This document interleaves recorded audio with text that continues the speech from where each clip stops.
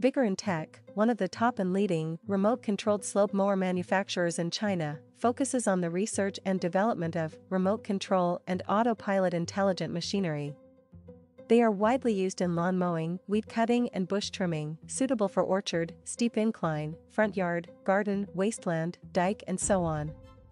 The wireless radio control brush mower adopts C and EPA approved gasoline engine, adjustable blade height by remote control, 200 meters long distance remote control, travel speed up to 6 kilometers per hour.